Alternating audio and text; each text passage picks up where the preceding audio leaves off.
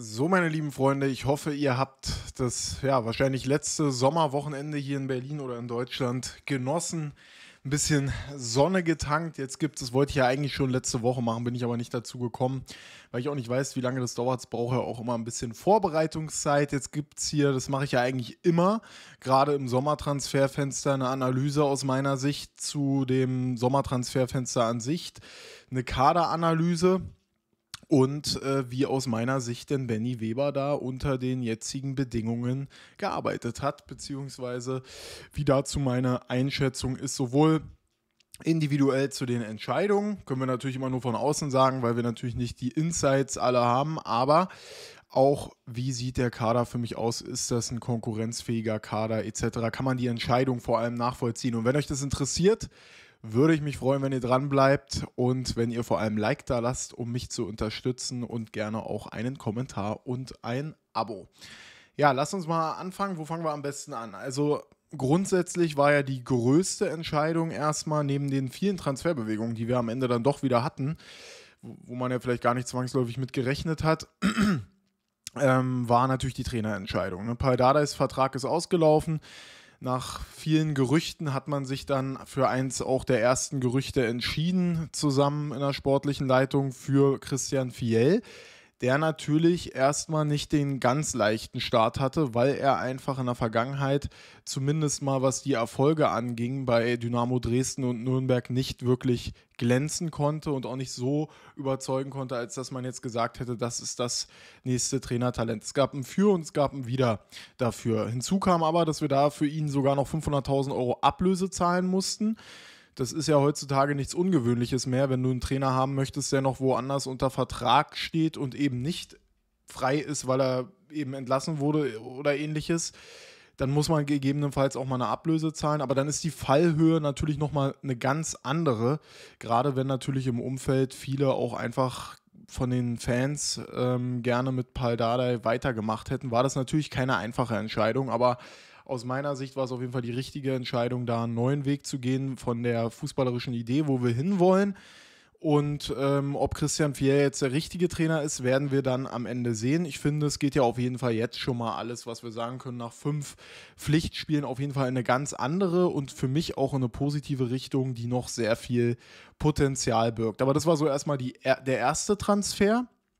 Und dann dachte man ja, dadurch, dass wir letztes Jahr so unfassbar viele Transferbewegungen hatten, dieses Jahr wird es vielleicht nicht mehr ganz so viel werden, aber es waren dann eben doch einige. Wenn ich jetzt hier nochmal wirklich jeden dazu zähle, muss man nochmal gucken, ob man jetzt die Spieler aus der U23 etc. dazu zählen will. Aber dann haben wir 1, 2, 3, 4, 5, 6, 7, 8, 9, 10, 11, 12, 13, 14 Abgänge allein und Zugänge ohne die aus der U23 1, 2, 3, 4, 5, 6 plus eben noch die Spieler, die ähm, ja eigentlich schon aus unseren Reihen, eigenen Reihen waren. Und was ich gut fand, das war ja in der Vergangenheit auch immer so ein Problem, dass keine der Laien über das Jahr funktioniert hat, sodass eigentlich die Spieler nur wieder auf der Matte standen mit noch einem geringeren Marktwert und wir sie nicht losgeworden sind. Nirgendwo hat jemand eine Kaufoption gezogen etc. Deswegen war es natürlich von Vorteil, dass sich Suat Zerda über die Saison lief es ja auch nicht ganz so gut gleich am Anfang, ich schalte mal hier rüber, damit ihr die Spieler auch seht, das war ja eigentlich somit der erste fixe Transfer, der uns auch Geld eingebracht hat und auch gleich relativ viel Geld. Ne? Ähm, das war ja dann wohl die Kaufoption viereinhalb Millionen. Klar haben wir, glaube ich, mal acht Millionen ungefähr bezahlt, aber ähm, wir sind ja dadurch auch ein Spieler losgeworden, der ein exorbitant hohes Gehalt hatte und konnten schon mal auch ein bisschen was für unseren Kader tun. Das war schon mal sehr, sehr gut. Dann stand natürlich auch früh fest, dass die Winterleihgabe Ayman Barkok, der, da gab es ja eine Kaufpflicht, die äh, wurde nicht ausgelöst, weil er nicht alle Bedingungen erfüllt hat. Und wir selber wollten die Kaufoption auch nicht ziehen. Also stand auch dieser Abgang relativ früh fest. Äh, Benze Dardai war auch klar, wird uns, war bitter, ablösefrei gen äh, Wolfsburg verlassen. Und dann gab es eigentlich später noch viele Transfers wo man eben nicht ganz genau wusste. Also Wilfried Konga hatten wir ja alle schon die Hoffnung, ähm, dass das auch deutlich schneller geht. Aber ähm, erstmal war dann eigentlich klar, dass ähm, die Spieler, die gar nicht mehr für den Kader eingeplant werden, abgegeben werden sollen. Also es war Maolida, wo ja die letzte Leier auch gut funktioniert hat. Das war Konga, der auch gar nicht mit ins Trainingslager kam. Und das war Sona. Hinzu kam dann noch Augustin Rochel, der am Anfang ja in der Vorbereitung mit dabei war, aber eben nicht mit ins Trainingslager durfte. Also wusste schon man schon mal, dass die gehen. Bei Peter Pekarik war es immer so ein Hin und Her. Ich habe gesehen, Peter Pekarik hat äh, auch wieder für die Slowakei gespielt. Ich habe ihn ja neulich hier auch mal in Berlin gesehen. Mal gucken, dem soll ja eigentlich sowieso nach seiner Karriere was angeboten werden bei uns oder vielleicht äh, hängt da doch nochmal was dran. Er ist ja vereinslos, bloß jetzt sind wir eigentlich besetzt auf den Positionen. Ja, Augustin Rochel, nachdem er dann der hat ja noch bis 26 Vertrag. Da hatte man sich natürlich schon gewünscht, ähm, dass er, ja, wenn dann uns fix verlässt, zumal er nächstes Jahr nur noch ein Jahr Vertrag hat. Ähm, ist aber leider nicht zustande gekommen, hat ja letztes Jahr auch keine Spiele machen können, war, war ja eigentlich schon verletzt zu uns gekommen. Nicht wirklich ein hoher Marktwert, so hat man ihn jetzt wieder zurück zu international ähm, äh, oder zurück nach Südamerika verliehen, nach Brasilien zu International und dort hat er mittlerweile auch schon fünf Spiele gemacht, gibt es eine Kaufoption, aber ist eben erstmal nur aufgeschoben. Also da haben wir auch nichts fix bekommen. Bei Kilian Sona ähnlich, wurde auch verliehen. Der hat ähm, Probetraining gemacht ähm, in der zweiten niederländischen Liga und wurde dann erstmal verliehen, weil man bei uns anscheinend keine Chance für ihn gesehen hat. Wilfried Konga, ja, da gab es Gerüchte, dass man irgendwie fünf bis acht Millionen für den bekommen könnte, weil er letztes Jahr zwölf Tore gemacht hat. Ist dann allerdings nicht gewechselt. Äh, oder ist nicht, wir sind ihn nicht losgeworden, war dann noch ewig bei uns und dann wurde er irgendwann in die ähm, Championship, zweite englische Liga verliehen zu Cardiff City, die wohl auch eine Kaufoption haben. Nur eine Laie. Das war dann schon ein bisschen enttäuschend, muss ich sagen, vor allem weil man durch die Medienberichte natürlich Hoffnung hatte, dass man da nochmal einiges an Millionen einnehmen kann. Auch der Transfer von Mysian Maolida, wo man ja vor allem das Gehalt loswerden wollte, hat sich extrem gezogen.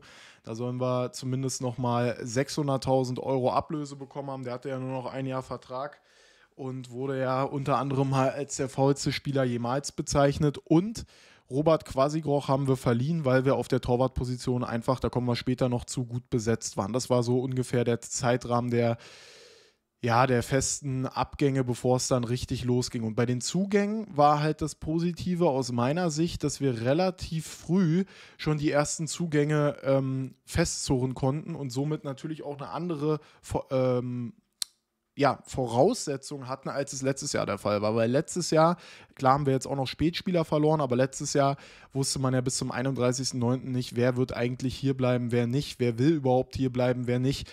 Und das war anders. Wir hatten ähm, letztes Jahr definitiv ähm, viele Vakanzen auf der zentralen Mittelfeldposition, sowohl im kreativen Bereich, da lag es vor allem auch an Verletzungen natürlich, aber eben auch auf der Achter oder vor allem auch auf der Sechser-Position, wo es Clemens natürlich super gemacht hat, aber wir hatten da definitiv eine Vakanz. Und deswegen fand ich es gut, dass wir uns so früh um wirklich Qualität im Mittelfeld bemüht hatten, um so eine Grundachse gleich von Anfang an im Trainingslager als, ähm, ja, also als Gerüst zu haben. Und dann war ja relativ früh klar, ähm, ich weiß jetzt gar nicht mehr in welcher Reihenfolge, aber dass, Michael, äh, dass Kevin Sessa zu uns wechselt, ablösefrei. Der hat sich gegen eine Verlängerung bei Heidenheim entschieden, wo er ja sogar international hätte spielen können mit seinen 23 Jahren und hat sich für den Schritt zu Hertha entschieden in die zweite Liga, wo er eben Hoffnung hatte auf ähm, ja, Startelf-Einsätze und an das Projekt anscheinend auch geglaubt hat. Den haben wir ablösefrei bekommen. Natürlich wird er ein relativ hohes Gehalt haben für unseren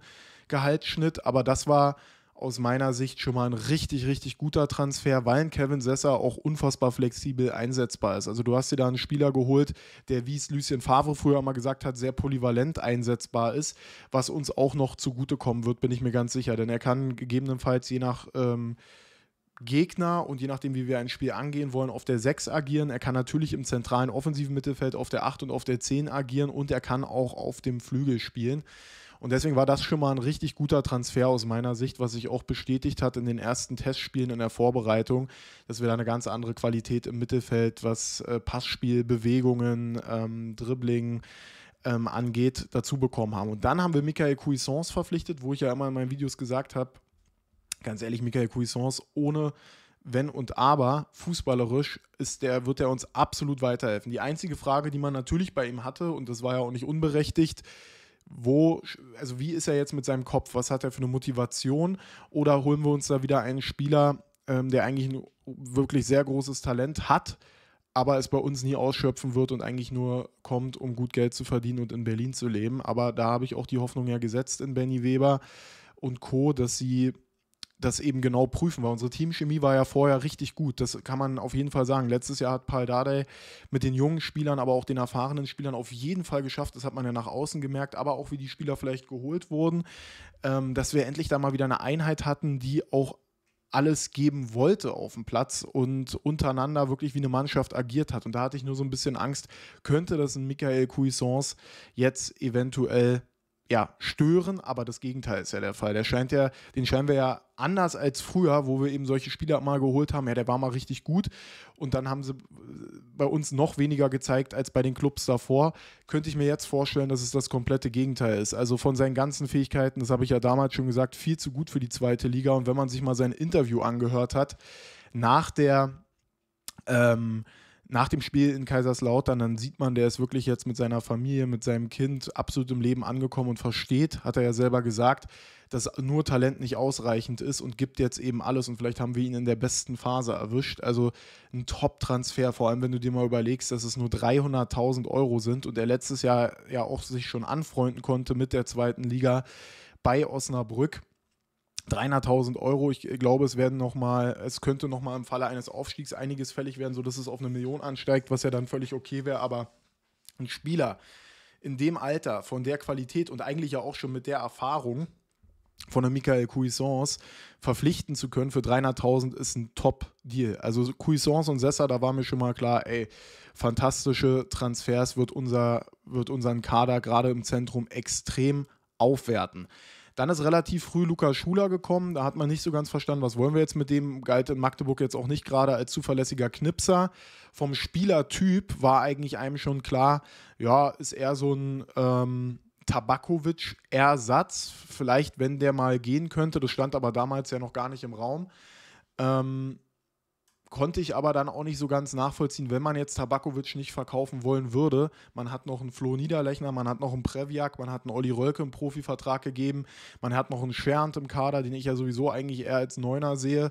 Warum holt man jetzt noch einen Lukas Schuler, der vom Profil so ist wie Tabakovic, aber eben noch nicht auf diesem Level fußballerisch wie ein Tabakovic ist, aber jünger? Kann man sich eben nur so erklären. Hintergedanke, Tabakovic könnte gehen. Diesen Stürmertyp haben wir sonst nicht nochmal. Äh, Zweitliga erfahren, hat noch Entwicklungspotenzial und wird günstig sein. Also der kam zum einen ablösefrei auch und wird ja kein hohes Gehalt haben, wenn er jetzt von Magdeburg kam. Aber da hat man sich gefragt, na, ist ja eigentlich ein Überangebot. Dann zu dem Zeitpunkt, wenn Tabakovic nicht gegangen wäre, hätte ich gedacht, gedacht, ja, dann brauchen wir dann noch einen Niederlechner beispielsweise und einen Prevjak oder können die eigentlich beide gehen? Hat sich ja später alles anders ergeben. Diego Demme ja, seit einem Jahr über uns geschwebt als Transfergerücht, kam dann wirklich eben auch, der diese Erfahrung eben auch mit reinbringen soll, diese, diese Sicherheit im Passspiel und der Denker und Lenker sein sollte. Auch der Deal hat dann irgendwann mal endlich geklappt. Auch er kam ablösefrei, wird natürlich schon ein ordentliches Gehalt haben.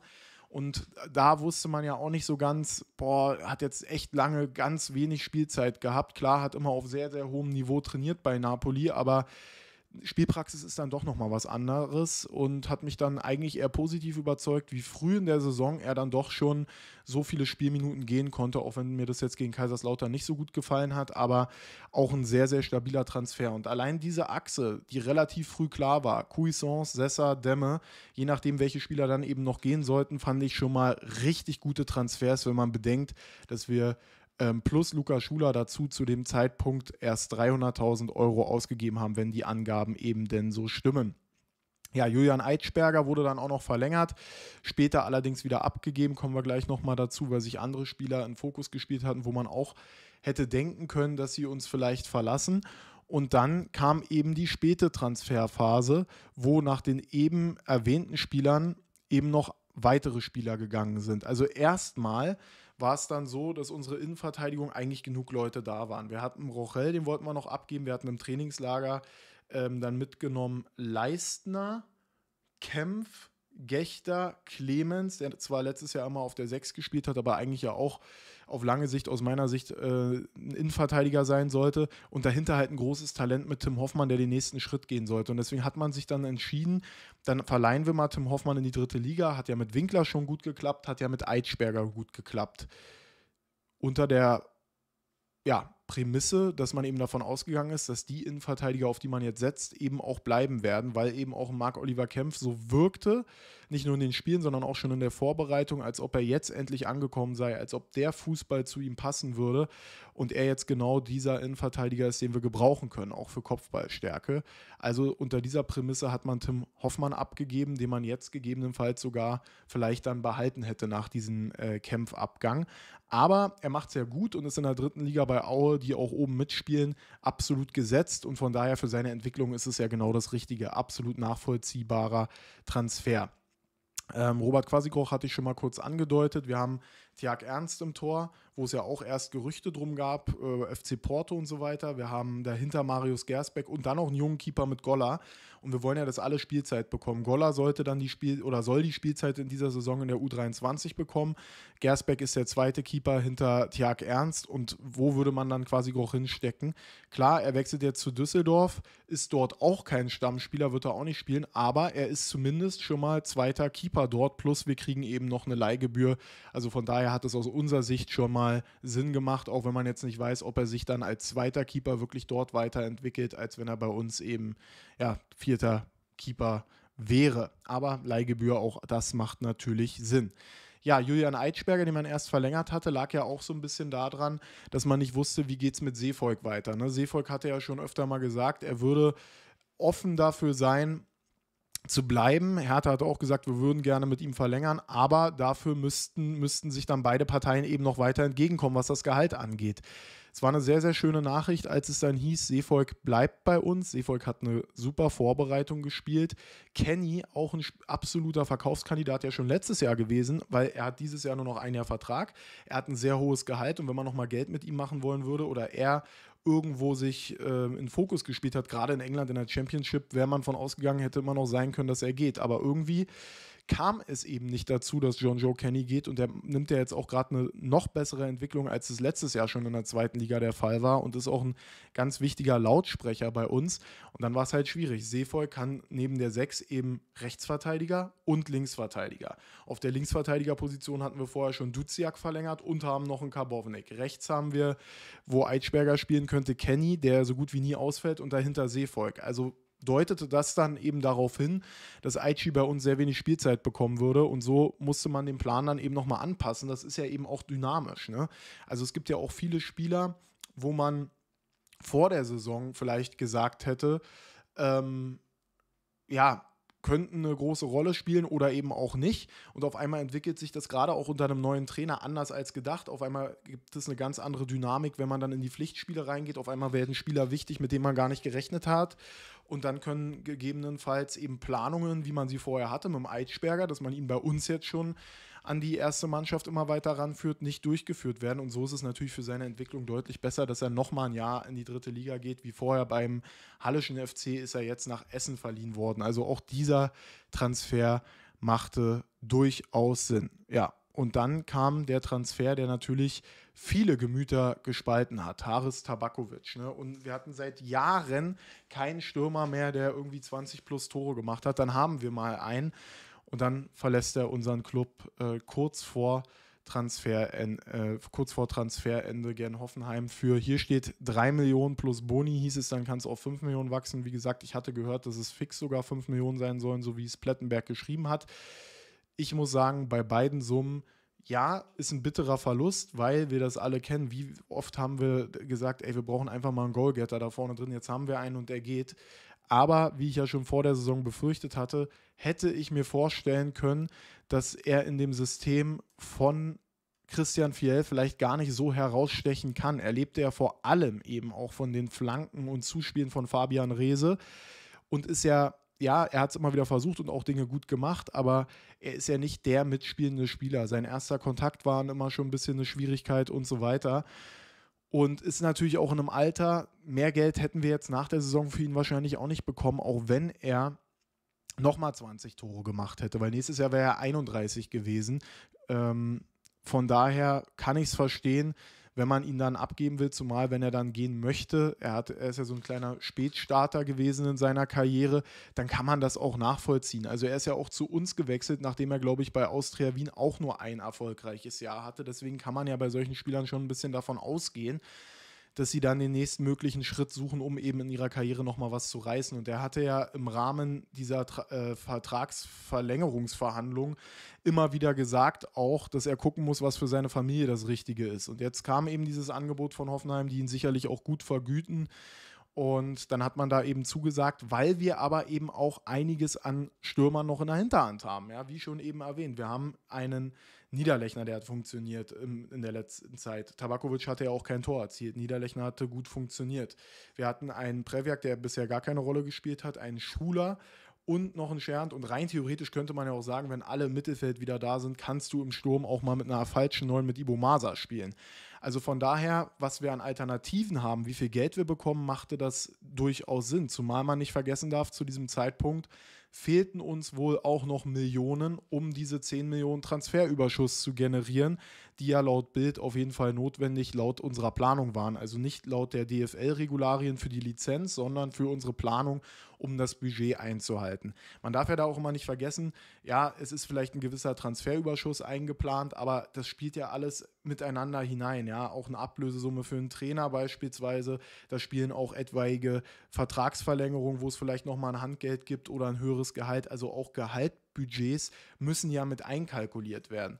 Und für mich war immer so die Frage, das war für andere vielleicht jetzt nicht so die Frage, aber wenn ich jetzt einen der Top-Spieler noch abgeben muss, um Millionen zu generieren, um diese 10 Millionen Transferüberschuss und vielleicht noch mal ein bisschen Gehalt einzusparen, dann gebe ich lieber Tabakovic ab, als zum Beispiel ein Rese oder ein Ibo Masa, vor allem Ibo Masa, weil ein Ibo Masa für die Zukunft uns noch viel mehr Geld bringen kann, als es vielleicht ein Haris Tabakovic mit einer oder zwei guten Saisons hätte tun können. Ich verstehe die Kritik, wer soll jetzt die Tore machen, aber wir haben ja zumindest mal im Spiel jetzt gegen Kaiserslautern gesehen, dass Tore eben auch nicht nur an einer Person hängen sollten, wenn du eine gute Spielweise hast. Also für mich persönlich war dieser Transfer ein guter Transfer, dass wir nach einem Jahr für einen Spieler, den wir 500.000 bezahlt haben, und lass es jetzt nur 3 Millionen sein, selbst wenn es nur 3 Millionen sind, das ist das Sechsfache nach einem Jahr für einen 30-jährigen Spieler, der aus meiner Sicht nicht perfekt in, dieses, ähm, Trans äh, in, die, in diese Spielweise hineinpassen würde,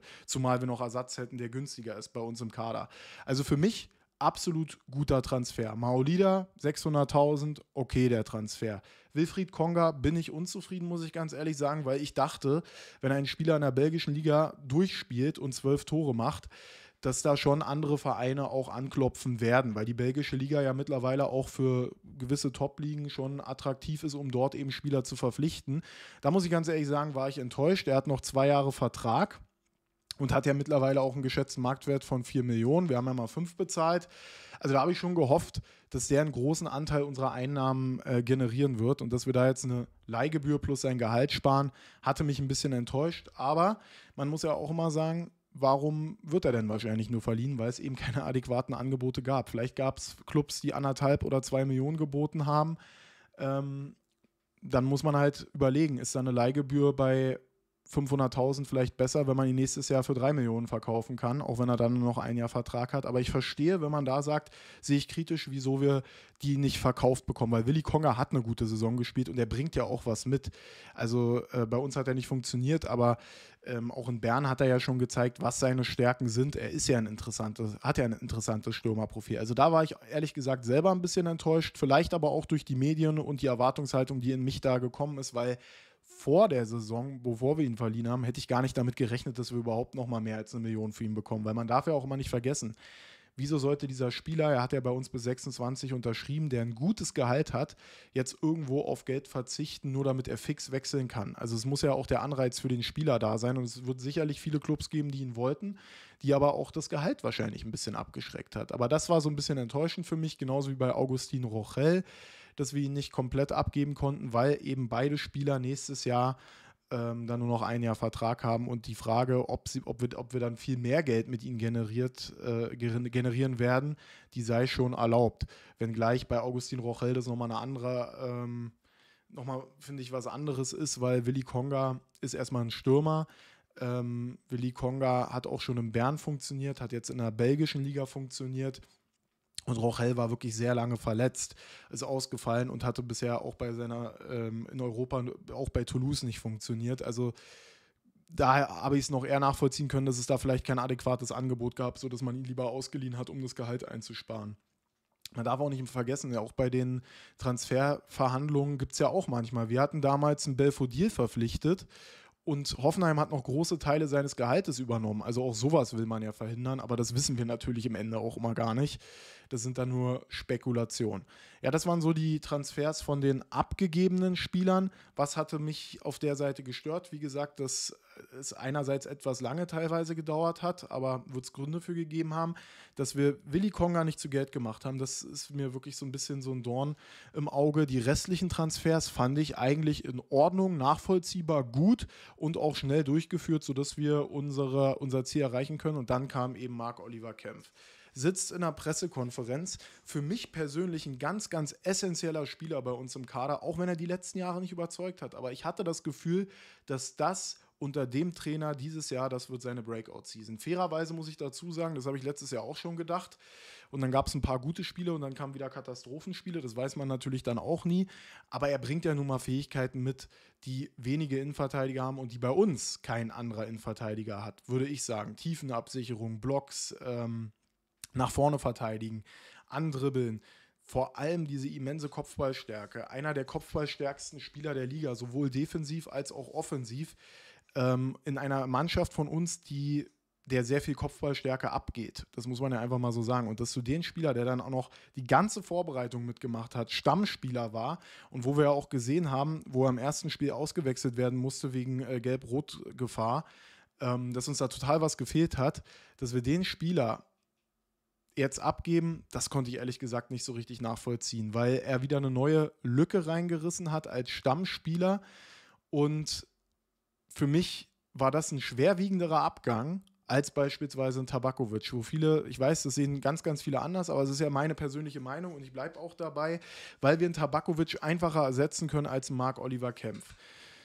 Alleine wegen dieser Kopfballstärke und weil er ein Profil mitbringt, was wir sonst nicht haben. Ich verstehe aber auch alle die, die sagen, ja, aber in den letzten Jahren hat er äh, dann auch immer langfristig nicht funktioniert. Aber ich, ich habe das Gefühl gehabt, dieses Jahr wird sein Jahr und er wird eine ganz, ganz entscheidende Rolle tragen. Auch weil er ja an sich selber nochmal gearbeitet hat, hat er ja erzählt. Und deswegen war der Transfer für mich echt bitter und ich konnte ihn nicht so richtig nachvollziehen, wieso man so einen entscheidenden Spieler, wo wir ja defensiv so ein bisschen Probleme haben, gerade bei Standards, dann in so einer Phase auch noch abgeben. Ja, also so kurz vor Transferende. Also das war für mich, für mich persönlich der am schwersten nachzuvollziehende Transfer, auch wenn wir hier ja auch wieder gutes Geld bekommen haben. Er ist ja auch nur ein Jahr jünger als Tabakovic zweieinhalb Millionen und er wird ja wahrscheinlich auch nochmal deutlich mehr verdient haben als ein Tabakovic, weil er kam ja zu Bobic-Zeiten, haben wir ihn ja losgeeist vom VfB Stuttgart, wo er ähm, nicht verlängern wollte, haben wir ihn dann im Winter geholt. Also der wird schon ein ordentliches Gehalt gehabt haben. Vielleicht war er sogar der Top-Verdiener. Und vielleicht, das weiß ich ja immer nicht, haben solche Transfers es dann ermöglicht, andere Spieler zu halten oder einen Thorsteinsson noch als Alternative zu holen oder zu sagen, ey, Rese bleibt fix bei uns. Wobei, ich glaube, da gab es auch nicht genügend Angebote aufgrund seiner Verletzung. Der fehlt ja jetzt immer noch die halbe Hinrunde. Aber auch so eine Verlängerung von Ibo Masa. Vielleicht hat uns das mehr Spielraum gegeben, um Spieler wie Ibo Masa eben mehr Gehalt geben zu können. Und dann könnte ich es wiederum nachvollziehen. Aber das sind halt unbekannte Komponenten. Für mich erstmal der Transfer von Kempf, der aus meiner Sicht der, der mich am härtesten trifft, der am schwierigsten zu ersetzen ist. Und was haben wir dann gemacht? Wir haben dann kurzfristig noch John Brooks geholt. Äh, meine Meinung dazu zu ihm habe ich gesagt. Ich hoffe, dass er zumindest aufgrund seiner Körpergröße, die 1,94, uns das Element geben kann, wenn er fit ist, was uns absolut fehlt. Also Strafraum, Beherrschung in der Lufthoheit, sowohl vorne als auch hinten. Denn auch mit Tabakovic hat uns ja ein kopfballstarker Spieler verlassen. Das muss man auf jeden Fall so anmerken, dass wir das sonst nicht ersetzt haben, so wirklich, außer eben durch einen Transfer jetzt von Brooks, der eben ablösefrei zurückkommt an alte Wirkungsstätte. Bei dem Deal kann ich nicht so richtig sagen, muss man erstmal gucken, wie er dann wirklich funktioniert. Ich bin ja nicht so ganz überzeugt, aber wenn er dann am Ende funktioniert, dann war es eben auch wieder ein äh, Top-Deal. Ähm, zumal wir da eben keine Ablöse bezahlt haben. Aber jetzt natürlich erstmal verletzt. Also das ist mal wieder typisch Hertha, ein Spieler neu verpflichtet, macht ein paar Trainingseinheiten und verletzt sich, wird wohl mehrere Wochen ausfallen. Also können wir jetzt erstmal nicht mit rechnen. Aber was man zumindest gut attestieren muss, ähm, bei, den, ähm, bei dem Transfer, dass eben nochmal reagiert wurde, weil das wäre aus meiner Sicht sonst wirklich eng geworden. Das wäre wirklich eng geworden, hätten wir ihn jetzt nicht verpflichtet. Es hätte klappen können, aber man sieht ja, es fallen eben auch immer mal wieder, gerade in der Innenverteidigung, eben auch Spieler aus. Was machst du dann? Zumal wir ja Tim Hoffmann auch noch abgegeben haben und für mich derzeit in der U23 keine Spieler sind, die sich sowieso schon auf dem Profikader aufdrängen. Also das braucht auf jeden Fall noch Zeit. Von daher äh, ganz, ganz wichtiger Reaktionstransfer, wenn ich das mal so sagen darf. Ja, und dann haben wir noch eigentlich das geholt, was ich mir schon das ganze Transferfenster gewünscht habe, nämlich einen Flügelspieler, der nochmal ein anderes Profil hat als ein Winkler, als ein Scherhand und vielleicht sogar als ein Rese. Das werden wir dann sehen. Es ist wieder ein Linksaußenspieler, wo viele dachten, es ist schon mal der Ersatz für Rese, aber er kann eben auch rechts äh, oder Halbraum spielen. Hat, glaube ich, sogar auch schon mal hängende Spitze und Mittelsturm gespielt. Und äh, den Transfer finde ich erstmal sehr interessant. Ich will mal nicht zu hoch hypen, weil am Ende habe ich schon viele Spieler, die zu uns gekommen sind, hochgehypt nach einer Einwechslung nach 20 Minuten und daraus wurde dann gar nichts. Äh, Maulida.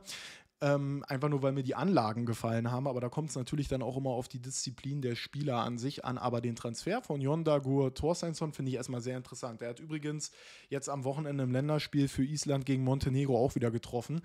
Ähm, ich glaube, sein sechstes Länderspieltor jetzt gemacht für Island. Und ähm, der gibt uns auch nochmal ein ganz anderes Profil und wieder andere Möglichkeiten. Also, ja, wie gesagt, ich bin nicht ganz zufrieden bei den Abgängen. Ähm, aber bei den Zugängen bin ich eigentlich umso zufriedener, muss ich ganz ehrlich sagen. Also die Zugänge, wenn wir uns gleich mal angucken, den Kader, die einzelnen Positionen und was für Aufstellung man damit kreieren kann, dann bin ich damit auf jeden Fall schon sehr, sehr zufrieden. Und falls ihr hier seht, dass ich zerfließe, wundert euch nicht, in diesem Zimmer hier sind, glaube ich, 38 Grad. Ja, ähm, wen haben wir dann äh, noch abgegeben? Bradley Ibrahim, das war relativ spät zu Crawley Town brauchen wir jetzt nicht nochmal auf die ganzen Geschichten eingehen bei ihm. Bis jetzt alles nicht optimal gelaufen, beziehungsweise ziemlich suboptimal gelaufen. Wird jetzt in die dritte englische Liga verliehen. Hoffen wir mal, dass er da einen Schritt machen kann und dann als anderer Spieler zu uns zurückkommt. Was einen so ein bisschen noch stört, auch wieder bei der Abgangsseite. Also wie gesagt, bei der Zugangsseite bin ich eigentlich ziemlich zufrieden. Äh, was mich noch bei der Abgangsseite, was ich mir gewünscht hätte, wäre, dass ein Spieler wie Buchalakis oder Hüssein, wenn man sowieso nicht mit ihnen plant, dass wir die eben abgeben. Also dass ein Bilal Hüssein verliehen wird. Noch ist ja das Transferfenster in ein paar Ländern offen, vielleicht passiert das ja noch. Buchalakis ist jetzt auch wieder auf Länderspielreise, kann man ja noch hoffen, dass sie noch gehen. Ähm, das wäre dann jetzt ein bisschen voreilig von mir, aber dadurch, dass die eben so früh keine Rolle gespielt haben, ähm, dachte, hätte ich mir schon gewünscht, dass wir die irgendwie loswerden. Und da kann man jetzt auch nicht mehr sagen, das sind irgendwelche Altlasten von Freddy Bobic, weil die Spieler hat ja Benny Weber selber verpflichtet letztes Jahr. Und bei, gerade bei Bilal Hüssein hätte ich eigentlich gedacht, dass das ein Spieler ist, der jetzt total profitieren könnte von dem neuen äh, Spielsystem unter Christian Fiel. Aber ja, da ist wahrscheinlich einfach die Konkurrenz zu groß, weil wir jetzt zu viele Spiele, weil er nicht performt hat letztes Jahr und wir jetzt zu viele qualitativ hochwertige Spieler auf diesen Positionen haben, sodass er überhaupt nicht zum Spiel kommen könnte. Aber er ist ja im Moment weder in der U23 noch in der äh, ersten Mannschaft. Mal gucken, vielleicht sehen wir da ja sogar noch eine Laie in den letzten Tagen. Ich glaube, in der Türkei hat das Transferfenster noch bis Mittwoch offen. In Griechenland, glaube ich, nur noch bis morgen, am Montag, am 11.09. Äh, ja, also das äh, so meine Sicht, Abgänge, na, bisschen kritisch, dafür aber eben früh viel Geld eingenommen und nicht die absoluten Topspieler abgegeben. Jetzt könnte man sagen, naja, kämpft Tabakovic schon, aber für mich, aus meiner Sicht, sind ja die absoluten Topspieler Ivo Masa, Fabian Reese ähm, und noch ein paar Talente und darüber freue ich mich halt, dass die geblieben sind. Aber man muss auch immer noch dazu sagen, Abgang- und Zugangsseite, das kann man eigentlich auch erst richtig beurteilen, wenn die Saison dann vorbei ist. Wie haben diese Spieler performt? Und da zählt natürlich auch viel rein, wenn wir zu den Transfers kommen. Wie hat der Trainer sie gefördert? Hat die Spielweise zu ihnen gepasst? Aber das ist ja am Ende auch die Aufgabe von einem Manager oder einem Sportdirektor, den Trainer auszusuchen und dann das passende Spielermaterial zur Verfügung zu stellen für den Fußball, den er spielen möchte. Weil letztes Jahr zum Beispiel gab es ja so ein paar Transfers, wo ich nach der Saison gesagt habe, ja, Karbovnik am Ende für das, was er gekostet hat, hat er nicht überzeugt. Aber der Transfer an sich, den konnte ich ja absolut nachvollziehen. Absolut geiler Transfer. Aber er wurde halt nicht so eingesetzt, sondern auf der linken Seite mit Rese, wo er auch viele Probleme natürlich hatte, weil Rese ihn nicht wirklich nach defensiv unterstützt hat. Aber ähm, was natürlich auch ein bisschen an der Spielweise lag, dass seine Stärken, wie zum Beispiel dieses äh, Tempo-Dribbling oder wie man heut, heute immer sagt, Ball-Carrying, gar nicht so zum Tragen kommen konnte wie äh, uns Umzugshelfer. Also ähm, deswegen, man wird ja wirklich erst sehen, wenn die Saison dann abgeschlossen ist, wie gut die Transfers wirklich waren. Aber ich muss sagen, die Zugänge an sich fand ich gerade im Mittelfeld hier mit Cuisance, Sessa, Dämme überragend. Und was mit Thorsteinsson ist, das werden wir dann noch sehen. Ja, kommen wir doch mal zum Kader, bevor wir uns dann gleich die Aufstellung angucken. Und gucken wir uns mal einzelne Positionen an und gucken dann mal, wie sind wir dort besetzt, auch von der Struktur her mit unterschiedlichen Profilen, dass man unterschiedliche Dinge machen kann. Und dann würde ich so sagen, wie ich das äh, sehe. Also im Tor finde ich, sind wir perfekt besetzt. Jörg Ernst wird immer besser, hat immer noch seine Schwächen, aber ist immer noch erst 21 Jahre alt. Ähm, absolutes Entwicklungspotenzial, nicht ohne Grund schon zweieinhalb Millionen wert. Äh, wie gesagt, da gab es ja Gerüchte um 6 Millionen. Dann einen sehr, sehr erfahrenen Marius Gersbeck, der helfen kann im Torwartteam und immer der Ersatzkeeper bzw. auch Pokalkeeper ist, als zweiten Keeper und dahinter direkt ein großes nächstes Torwarttalent, wo man ja auch dem viel nachsagt, äh, fußballerisch muss aber auch noch einige Schritte machen, ist manchmal ein bisschen zu flatterig noch, aber ist ja auch noch sehr jung mit 19 Jahren wo du quasi Nachfolger schon hättest, wenn du wieder auf einen Jungen setzen möchtest, ähm, falls Jörg Ernst irgendwann mal weggekauft werden sollte. Also im Tor, Altersstruktur, zwei sehr junge, ein Junger, der sich schon etabliert hat, ein erfahrener mit Marius Gersbeck und dahinter noch ein noch jüngerer Keeper. Top, kann man nichts sagen. Kommen wir jetzt zur Innenverteidigung. Wir spielen ja meistens mit zwei IVs. Da haben wir jetzt eigentlich ja unsere Stamm-IV verloren. Die bestand eben aus Linus Gechter, der sich ja im Rahmen der Vorbereitung schon als ähm, ja, Stammspieler so herauskristallisiert hat oder relativ früh eigentlich schon. Dann hatte sich ja Clemens noch verletzt. Und äh, Kempf. Kempf ist jetzt weg und jetzt ist die Frage, spielt man da mit einem zweiten Linksfuß daneben? Möchte das Christian Fiel oder würde er auch mit zwei Rechtsfüßen spielen? Äh, Clemens ist natürlich eine Alternative. Clemens hat letzte Saison eine tolle Saison gespielt, vorwiegend auf der 6, aber dieses eine Spiel in Fürth zum Beispiel neben Kempf hat mir sehr, sehr gut auch von Clemens gefallen und ich bin ja sowieso ein großer Clemens-Befürworter. Also wäre Clemens eine Alternative. Natürlich angestammt jetzt erstmal John Anthony Brooks daneben. Dann hätte man Brooks und wenn jetzt beide fit wären, Brooks und Gechter. Und als Alternativen auf links Marton, auf rechts Clemens und noch Toni Leistner, der als Kapitän eben noch dabei ist und auch in der Kabine ja ähm, ganz, ganz wichtig sein soll. Fünf Innenverteidiger, davon zwei erfahrene über 30 Jahre und drei Junge, die aber eben auch nicht blutjung sind, sondern eben schon Profi-Erfahrung haben. Ist eigentlich ein interessanter Mix und du hast auch unterschiedliche Spielerprofile. Also du kannst jetzt aus meiner Sicht einen John Brooks nicht mit einem Martin Dardai vergleichen. John Brooks ist dann doch noch der robustere Typ, ist noch der Typ, der äh, mehr Kopfballstärke und Durchsetzungsvermögen mitbringt. Martin Dada ist dann doch für die feinere Klinge, hat eine tolle Übersicht, kann ja auch so eine Hybridrolle spielen als äh, Linksverteidiger, wo er dann im Aufbau ähm, schöne Bälle spielt, sowohl flach als auch hoch. Ähm, du hast mit Linus Gechter jemanden, der absolut an Zweikampfstärke dazugewonnen hat. Ich weiß es jetzt nicht, aber wirkt auch für mich im Antritt als einer der flotteren äh, in der Innenverteidigung. Mit Toni Leistner einen sehr kraftvollen, ähm, ja, wie soll man sagen, ähm, zweikampfstarken Innenverteidiger, der aber für, mein, für meine Begriffe in der Spielweise eigentlich uns auch nicht so wirklich weiterhilft, wenn wir da an der Mittellinie stehen im Spielaufbau. Also wir haben unterschiedliche Profile, dann nochmal John Brooks, ähm, der auch viel Erfahrung mitbringt, technisch eigentlich nicht so schlecht ist, ähm, Körpergröße, Organisation und eben Passi Clemens, ähm, der für mich auch super im, im, fußballerischen Bereich ist, vielleicht noch ein bisschen zulegen muss in Fragen Tempo, Schnelligkeit oder auch ein bisschen in Beweglichkeit, ist aber auch noch ein junger Spieler, wo sich der Körper ja immer noch weiterentwickelt. Also ist schon eine interessante Zusammenstellung. Aber ich finde trotzdem eben, dass Kempf dort ein ganz schönes Loch gerissen hat. Aber wer weiß, vielleicht werde ich ja Lügen gestraft und John Brooks kommt nach seiner Verletzung wieder und ist besser, als es Kempf jemals hätte werden können. Und dann ist das sowieso obsolet. Aber wir wollen ja auch eigentlich dahin kommen, und das haben wir schon gar nicht mehr auf jeder Position, dass Talenten der Weg nicht versperrt wird, Stammspieler zu werden bei uns. Und äh, das muss man natürlich auch in eine Planung reinmachen. Du kannst jetzt natürlich auch für Linus Gechter noch einen anderen Innenverteidiger verpflichten, der 25 ist, aber wir wollen ja eigentlich, dass diese Spieler eben spielen und auch Fehler machen dürfen, ähm, ohne direkt immer rausrotiert zu werden damit sie die nächsten Schritte bei uns machen. Das war ja zum Beispiel letztes Jahr ja auch auf dem rechten Flügel mit Winkler so. Da war auch nicht jedes Spiel top, aber er hat auch tolle Entwicklungsschritte dann eben gemacht, weil er eben immer wieder gespielt hat. Und das ist dann vielleicht in diesem Falle mal in der Innenverteidigung einfach der Fall, wo wir ja auch zu jeder Position noch Alternativen haben. Also mit Brooks ist die Lücke erstmal gefüllt aus meiner Sicht. Dadurch, dass er verletzt ist, jetzt natürlich nicht. Toni Leistner ist noch hinten dabei, sehe ich aber als keinen Spieler, der jetzt ja, Woche für Woche über 90 Minuten geht, eher situativ, dass man ähm, ihn einsetzt. Ähm, könnte mal eng werden. Also wenn wir wirklich wieder Verletzungsprobleme, wenn sich jetzt noch jemand verletzt, ähm, dann könnte es wirklich eng werden in der Innenverteidigung, weil, wie gesagt, eben auch in der U23 jetzt eben kein Passi Clemens mehr schlummert, der ist ja schon bei uns im Kader. Kommen wir zu den Außenverteidigern. Ähm, da sind wir jetzt links bei den linken Verteidigern mit so vielen unterschiedlichen Profilen am Start, da sind wir fast schon überbesetzt, wenn alle fit sind. Wir haben Duziak, der ja am Anfang Stamm gespielt hat und vor allem, als wir immer dieses 3-2-2-3 im Aufbau gespielt haben, ins Zentrum gerückt ist, wovon wir ja jetzt gegnerbezogen teilweise abgewichen sind. Wir haben Jeremy Duziak. Nicht der schnellste, aber ein sehr, sehr feiner Fußballer, der locker auch im Zentrum spielen kann.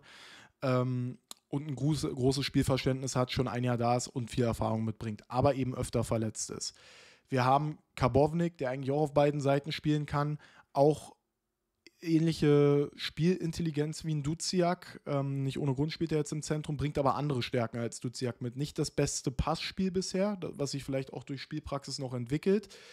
Ähm, dafür aber sehr, sehr gut im Balltreiben. Also vielleicht einer der besten, wenn er, wenn er Wiese vor sich hat und Raum vor sich hat, super am Balltreiben, sehr, sehr wendig, sehr, sehr schnell.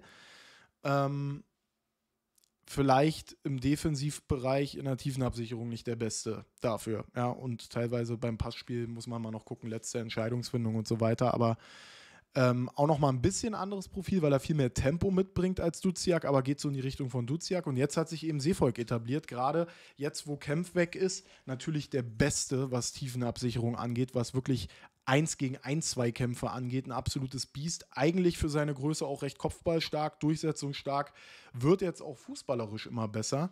Also profitiert mittlerweile auch von dem neuen Spielsystem, weil wir einfach mehr Passoptionen auf äh, kürzeren Distanzen haben als vorher und ähm, er dann häufig nicht so Risikobälle spielen muss oder die Bälle einfach nur blind wegkloppen muss, wo er dann unter Druck manchmal in Schwierigkeiten geraten ist. Also Seevolk hat sich ja wirklich in die Startformation gekämpft. Und es gibt vielleicht Spiele, da macht auf der Position Karbovnik oder ein Duziak mehr Sinn, aber gerade in so Spielen wie jetzt, wo es hin und her geht gegen Kaiserslautern, macht das Seevolk natürlich genau richtig. Und jetzt war er ja auch im Spielaufbau, in diesem Dreieraufbau in der Innenverteidigung dann ähm, also da sind wir ja eigentlich überbesetzt. Drei verschiedene Alternativen auf äh, Linksverteidiger, die alle was anderes mitbringen.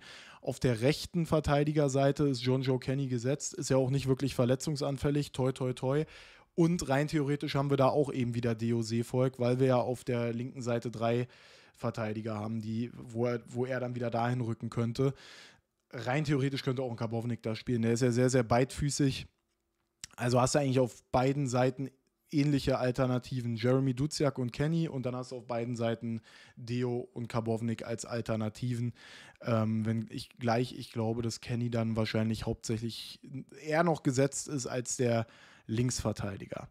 Ja, defensives Mittelfeld, da haben wir nicht so wirklich Alternativen zu Diego Dämmer. Bisher läuft es ja ganz gut, er scheint da auch gut ähm, durchzukommen, aber da gibt es nicht so wirklich Alternativen. Es gibt, äh, er macht es aus meiner Sicht gut, er hält jetzt auch relativ gut durch. Wir haben Passi Clemens. Ist jetzt halt die Frage, wo planst du ihn dann? Ne? Weil an sich müsste man ja sagen, Pascal Clemens, der letztes Jahr schon eine tolle Saison als 18-Jähriger gespielt hat und jetzt bestimmt sich auch immer noch weiterentwickeln wird, den haben wir jetzt als Backup. Der war letztes Jahr unser Stammspieler. Ja, also haben wir uns ja auch auf dieser Position eigentlich schon verbessert. Und Pascal Clemens ist auch nochmal ein völlig anderer Spielertyp als Diego Demme. Kommt ja auch mit einer ganz anderen Körpergröße daher.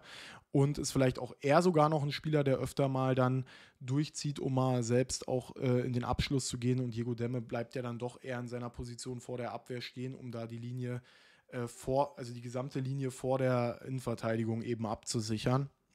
Kann man sagen, ist zu wenig, aber wie viele Spieler brauchst du denn auf einer Position? Weil rein theoretisch kann auch Kevin Sesser alleine auf der 6 spielen. Ist natürlich gegen den Ball nicht so ein Zerstörer, sage ich mal.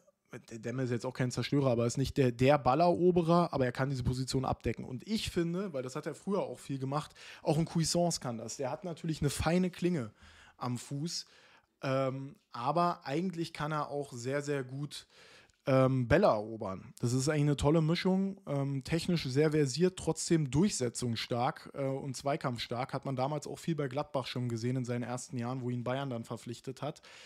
Also ich glaube, man kann auch die Sechserposition als genug abgesichert eigentlich beschreiben. Ja, das wirkt jetzt manchmal so, aber eigentlich haben wir so viele Alternativen und wir haben jetzt auch ein Trainerteam, sage ich bewusst, auch mit Monroy dazu, die sich da Dinge einfallen lassen können, weil auch Deo Sefoy kann auf der 6 spielen.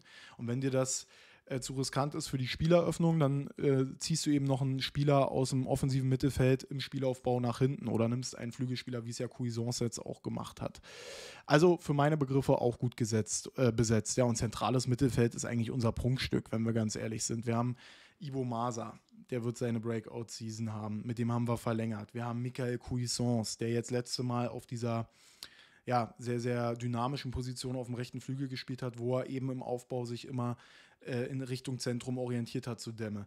Wir haben Kevin Sessa, den wir jetzt noch gar nicht live sehen konnten, der aber in der Vorbereitung schon gezeigt hat, was für ein feiner Fußballer ist. Wir haben Karbovnik, der so große Schritte jetzt gemacht hat, im Mittelfeld auch noch. Ähm, offensiven Mittelfeld, eine ungewohnte Position. Ähm, unter unter Fiel, wo man jetzt sich schon eher fragt, ey, willst du den jetzt eigentlich rausnehmen in seiner derzeitigen Verfassung? Also zentrales Mittelfeld und Buralakis, Hüssein spielen ja derzeit keine Rolle. Absolutes Prunkstück meiner Meinung nach. Und dann haben wir, der wird jetzt nicht viel Einsatzzeit am Anfang erstmal bekommen, aber dann haben wir rein theoretisch eben auch noch Talente, denen man Spielzeit mal geben könnte mit dem Julius Gottschalk. Wir haben sogar noch einen Spieler, über den man gar nicht mehr spricht, der für mich eigentlich im Zentrum eher funktioniert als auf dem Flügel. Polko Dardai haben wir auch noch zur Verfügung fürs zentrale Mittelfeld.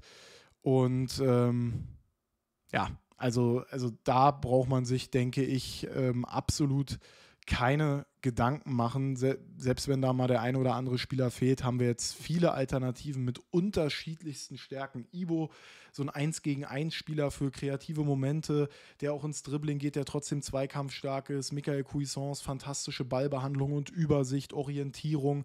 Äh, Sessa nochmal vielleicht ein bisschen wendiger als Cuisance, auch nochmal ein bisschen flinker. Trotzdem sehr, sehr feinen Fuß.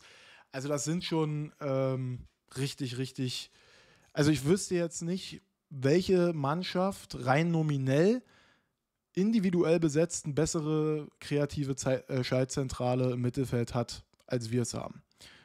Würde mir jetzt ehrlich gesagt, würde mir jetzt ehrlich gesagt gar nicht einfallen. Ja, Flügel war ja am Anfang jetzt total schwierig, weil wir eigentlich keine Alternativen zu Derry Sherrand und Martin Winkler hatten, die da wirklich Druck ausgeübt haben. Ich hatte ja mir immer gewünscht, dass es ein Gustav Christensen sein könnte, aber so wenig Spielzeit, wie er bekommen hat, ist er das anscheinend noch nicht, obwohl er mir in der U23 eigentlich immer einen ganz guten Eindruck macht, aber das sind eben auch zwei Ligen Unterschied. Jetzt aber ist die Situation eine andere für meine Begriffe, weil Derry Sherrand zumindest in den letzten Spielen deutliche Schritte nach vorne gemacht hat, wir einen Thorsteinsson verpflichtet haben, der auch nochmal eine Alternative ist und wir ja auch jetzt anders agiert haben. Wir haben mit Cuisance quasi im rechten Mittelfeld agiert, der im Spielaufbau häufig ins Zentrum gerückt ist und Kenny hat einfach die rechte Schiene beackert. Also dann bräuchte man ja gefühlt nur noch einen wirklichen Flügelspieler. Und wir haben jetzt aber mit Thorsteinsson noch einen dazu bekommen als Alternative. Wir haben einen Derry Sherrand, der in einer besseren Verfassung ist. Wir haben noch einen Winkler, wir haben noch einen Christensen und ein Rese kommt noch zurück. Also da könnte sich noch eine richtige Luxussituation ergeben, ähnlich wie im Mittelfeld, wo man gar nicht mehr weiß, wie man spielen lassen soll. Rein theoretisch können auch Ibo Masa und Sessa auf dem Flügel spielen. Also da sind wir jetzt von einer relativ vakanten Position zu einer fast schon positiv überbesetzten Positionen gekommen, zumal auch da unterschiedliche Profile drin sind. Also du kannst ja jetzt null Winkler, der absolut über Tempo, Tiefe und Raum kommt, ist eigentlich der perfekte Umschaltspieler, wenn du irgendwo 2-0 führst bei einem Auswärtsspiel und die ähm, Verteidiger schon müde gelaufen sind und hoch stehen. Dann hast du einen äh, Derry Shand, der es immer besser macht, auch immer mal mehr noch ins Zentrum zieht, eins gegen eins Duelle immer sucht. Thorsteinsson, der von sich selber sagt, dass er immer diese 1 gegen 1 Duelle sucht. Man hat jetzt schon in den ersten Spielen gesehen, dass er auch immer wieder flache Hereingaben äh, geben möchte für die Stürmer. Dann hast du einen Rese, brauche ich nicht viel drüber sprechen. Und als Alternative sogar noch einen Paul Kodadei, wobei ich den eigentlich bei uns nicht so wirklich auf dem Flügel sehe. Und noch einen Gustav Christensen. Also jetzt ist es sogar so weit, dass ich sagen würde, hätte man Christensen fast irgendwo in die dritte Liga verleihen können. Nach den wie der Kader sich eben jetzt gestaltet. Und auch im Sturm, muss ich sagen, haben wir unterschiedlichste Profile.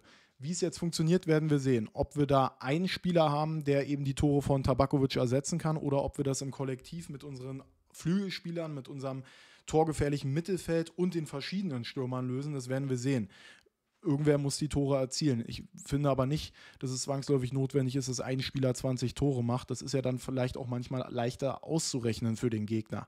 Wir haben Lukas Schuler. Hat doch jetzt gut geklappt. Zwei Buden gemacht. Ist ähm, technisch limitiert, körperlich gut, schnell, arbeitet viel und noch entwicklungsfähig. Smile Previak sagt er selber, spielt eigentlich überhaupt keine Rolle, war sicherlich auch ein Verkaufskandidat eigentlich, war, gab aber wohl keine Angebote überhaupt keine Rolle gespielt in der Rückrunde. In der Hinrunde letztes Jahr hat er mir ganz gut gefallen. Fiel sagt selber über ihn eigentlich der technisch Beste bei uns, der sauberste, ähm, sowohl mit Ballmitnahme, Abschluss etc. Ein Flo Niederlechner, der auch so ein also wirkt zumindest nach außen immer so, so ein gute Laune-Typ ist und der hat für mich immer diesen Thomas Müller-Faktor irgendwie. Er ist jetzt kein klassischer Stoßneuner, aber er ist jetzt technisch nicht schlecht, deswegen kann er ja sogar auch noch weiter hinten agieren, aber da haben wir jetzt keinen Bedarf mehr. Hat ja früher auch viel auf dem Flügel gespielt, fehlt ihm jetzt so ein bisschen die Geschwindigkeit. Aber er ist einer, der gut antizipieren kann. Er weiß einfach, wo er zu stehen hat. Er hat genau ähm, die Antizipation, um dann richtig zu stehen und den Ball dann eiskalt zu verwerten. Das ist auch nochmal ein anderes Profil als zum Beispiel ein Smile Previak. Und dann haben wir noch einen ganz, ganz jungen Stürmer, der jetzt viel äh, Spielpraxis in der U9, äh, U19 war er letztes Jahr, in der U23 sammelt, Olli Rölke. Und rein theoretisch, wir haben es im letzten Spiel gegen Lautern gesehen, Schernt ist für mich auch eher ein Neuner. Und auch nochmal ein anderes Profil als Previak, Schuler, Niederlechner und Rölke. Das heißt, ähm, auch den, wenn die Flügel jetzt dann besetzt sind, hätten wir dort noch als Alternative.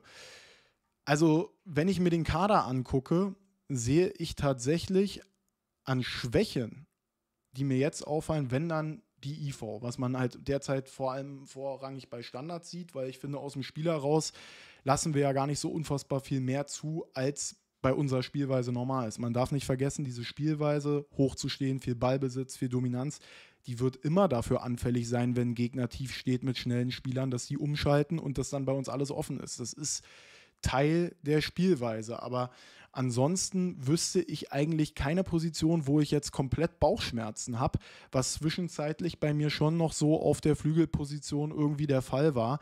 Aber mittlerweile selbst die Sechserposition glaube ich, dass dieses Trainerteam, selbst wenn jetzt ein Diego Demme ausfällt und Clemens in der Innenverteidigung gebraucht wird, dass dieses Trainerteam dafür eine passende Lösung findet. Ähm, da bin ich eigentlich ähm, überzeugt von. Von daher kann ich eigentlich bei dem Kader jetzt keine Position sagen, wo ich sage, die ist wirklich schlecht. Und man darf ja auch nicht vergessen, wir haben wieder einen Transferüberschuss erzielt. Ja? Also unser Transferüberschuss dabei lag jetzt trotzdem wieder bei 11,1 Millionen. Ziehen wir mal die 500.000 vielleicht noch ab von. Nee, ist Quatsch, ne, was ich gesagt habe.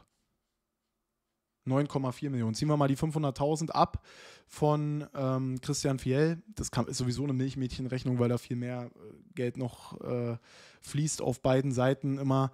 Aber dann haben wir immer noch den Kader für meine Begriffe deutlichst verbessert auf vielen Positionen und auf entscheidenden Positionen, haben viel mehr Alternativen, sind viel flexibler und haben trotzdem noch über 8 Millionen Euro eingenommen und wahrscheinlich sogar noch ähm, die Personalkosten zumindest mal nicht erhöht. Wäre jetzt so meine Einschätzung. Von daher kann man, glaube ich, da schon zumindest auf dem Papier von einer sehr erfolgreichen ähm, Transferphase rechnen. Wir können uns das ja nochmal an den Aufstellungen angucken. Also wir spielen ja für gewöhnlich meistens in der Grundformation 4-3-3 und haben im Tor Ernst als Ersatz Gersbeck. So, dann haben wir Seevolk, wie schon erwähnt, Ersatz Karbovnik, Duziak.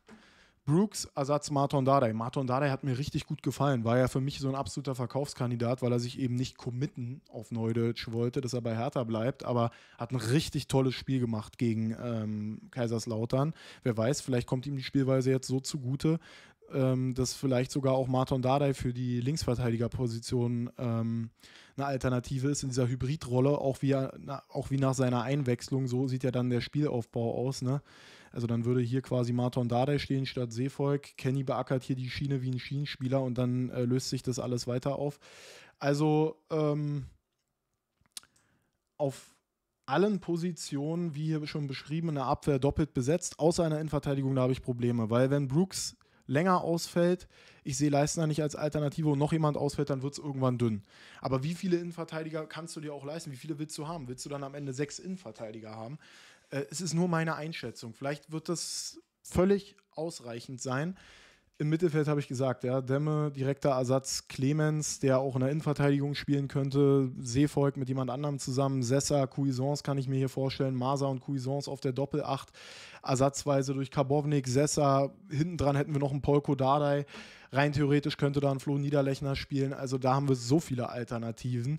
Äh, auf dem Flügel, wenn Rese wieder fit ist, Rese, Scherhand, Thorsteinsson, Winkler, Gustav Christensen, Sessa, vorne Schuler, Niederlechner, Scherhand, äh, Previak. Also ich wüsste wirklich nicht, wie man diese Transferphase als nicht gelungen bezeichnen könnte. Wenn ich jetzt eine Schulnote geben dürfte, aus meiner Sicht, wäre diese Transferphase für mich eine 2, weil wir eben auch noch Spieler verlängert haben, wie zum Beispiel ein Gechter, ein Ibo Masa, ein Reza haben wir vorher verlängert. Also wir haben Spieler gehalten, wir haben trotzdem Geld eingenommen. Warum ist es für mich keine Top-Note? Ja, weil wir halt nicht alle Spieler, die wir loswerden wollten, wie ein Konga, wirklich losgeworden sind und da noch mehr Geld rausgeholt haben und weil so eine Spieler wie Buchalakis und Bila Hüsse ihnen in dem Sinne jetzt gerade wie Kaderleichen wirken. Aber wer weiß, was da noch passiert. Aber ansonsten, ähm, bis auf den Kämpfabgang, den ich auch nicht nachvollziehen kann, Stand jetzt. Vielleicht sage ich nach der Saison was anderes. Das sind viele Dynamiken, die da reinspielen. Aber wenn man mir vor der, vor der Transferphase gesagt hätte, so würde unser Kader nächstes Jahr aussehen, mit dem Wissensstand, den ich jetzt hier nach vier Spieltagen habe, dann würde, hätte ich gesagt, absolut zufrieden, lass uns direkt vorspringen. Äh, was ist das denn bitte für ein geiler Kader? Ich finde diesen Kader so gut zusammengestellt, nicht weil ich jetzt hier irgendwie abgehoben bin oder so, sondern im Gegenteil, dass man da Ansprüche eigentlich haben muss. Klar hatten wir wieder viele Bewegungen, aber wir sind ja auch auf vielen Positionen eben zusammengeblieben. Und wir haben, das will ich auch nochmal positiv hervorheben, auch die äh, Chemie, Chemie äh, gefällt mir gut, weil wir haben so viele junge Spieler, ob das auf der Torwartposition, in der Innenverteidigung, auf der Sechserposition, wo auch immer, auf der Acht im Sturm ist, aber wir haben überall eben auch erfahrene Spieler, die vielleicht nicht immer von Anfang an spielen, aber die der Truppe Hinweise geben können. Und das ist ja eigentlich fast auf jeder Position so. Also im Sturm haben wir zum Beispiel Niederlechner, der die meiste Erfahrung hat mit seinen 33 Jahren und unheimlich vielen Bundesligaspielen. Auf dem Flügel ist dann vielleicht so, gut, Flügel hat man ja jetzt meistens auch nicht so gerne einen 35-jährigen. Ähm, auf dem Flügel ist dann vielleicht Fabian Reese, der Dinge mitgeben kann. Im zentralen Mittelfeld ist es Diego Demme oder auch schon Cuisance, auch wenn der immer noch 24 ist. In der Abwehr sind es ein Toni Leisner und hoffentlich dann auch ein Brooks. Im Tor ist es ein Gersbeck. Also auch von der Zusammenstellung für die, ja, wie, man sich, wie man sich eine Kaderzusammenstellung wünscht, auch dahingehend finde ich es gut, weil auch nicht jeder Position komplett blockiert ist. Es gibt, ich bin ja sogar immer so ein bisschen ja, letztes Jahr hatten mir das manche mal gesagt, ich setze zu viel auf junge Spieler. Ich finde sogar bei manchen Positionen haben wir zu gute Spieler geholt, als dass es für unsere Jugendspieler schwer wird, sich durchzusetzen. So denke ich dann manchmal schon. Aber was will ich damit sagen? Für mich super Transferphase kriegt aus meiner Sicht, würde Benny Weber da eine 2 bekommen mit den paar Abzügen da äh, bei den Abgängen. Aber mit unseren finanziellen Möglichkeiten überhaupt solche Spieler zu überzeugen, ja, wie Cuisance, der sicherlich Bundesliga hätte spielen können, Sessa und Co., ablösefrei zu uns zu wechseln, finde ich schon mal sehr, sehr stark. Und Ibra, äh, Ibo Masa zu verlängern zum Beispiel. Ne? Ähm, ich finde, und das soll jetzt mein Schlusssatz sein, könnt ihr mich gerne korrigieren, wenn man jetzt so eine Zielstellung macht. Das wird Hertha natürlich nicht nach außen äh, kommunizieren, weil das nur unter Druck setzt. Aber mit diesem Kader kann eigentlich nichts anderes als direkter Aufstieg das, das Ziel sein. Es gibt auch andere gute Kader, ja. Aber wie viele Kader könntet ihr aufzählen, die nominell tatsächlich safe besser besetzt sind? Wenn dann, würde ich mitgehen, vielleicht bei Köln, vielleicht, ja, würde ich nicht mal zwangsläufig sagen, vielleicht bei Köln und HSV, die ja dann nochmal ordentlich zugeschlagen haben. Ich sehe aber, dass wir eine bessere Spielweise haben als der HSV, sehe ich zumindest so. Aber vom, vom der individuellen Klasse fallen mir keine drei Vereine ein, die besser sind. Und äh, dementsprechend finde ich, muss das Ziel ganz klar hier Aufstieg sein oder zumindest in dieser verrückten Liga bis ganz zum Schluss um den Aufstieg mitspielen. Sonst ist eigentlich für meine Begriffe nicht das Maximale aus dem Kader rausgeholt. Klar, bei Hertha wissen, wissen wir nie, ähm, was passiert im Laufe einer Saison, welche Spieler verletzen sich, was passiert. Heute, heute, heute nichts Schlimmes. Übrigens ist heute oder ja, wäre heute der Geburtstag gewesen von Kai Bernstein. An der Stelle natürlich nochmal Ruhe und Frieden, lieber Kai. Ähm, sowas kann man natürlich immer nicht mit einplanen und auch nicht beurteilen, wie man dann fungiert, aber es fällt mir jetzt gerade dazu ein. Aber vom Kader an sich ist das ein Kader, auch wenn du dir nur mal die Marktwerte anguckst. Ich weiß, es hat nichts zu sagen, aber ich habe ja gerade eben erläutert, ähm, was die einzelnen Spieler für unterschiedliche Fähigkeiten eben auch mitbringen. Ähm, aus meiner Sicht kann da nichts anderes als der Aufstieg das Ziel sein. Und ich würde gerne mal wissen, was ihr dazu denkt, ob, wo ihr die Schwächen seht, ähm, was ihr sagen würdet aus eurer, wir sind ja alle nur Außenstehende aus eurer Sicht, wie ihr die Transferphase beurteilen würdet und wie euch der Kader gefällt. Gerne mal rein in die Kommentare.